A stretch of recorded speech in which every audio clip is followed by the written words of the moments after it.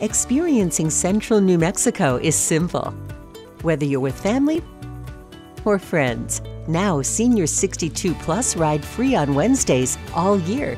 So sit back, relax, and enjoy the ride on us all day at any of our 15 stations between Santa Fe and Belen with multiple connections. Discover new destinations with the New Mexico Rail Runner Express.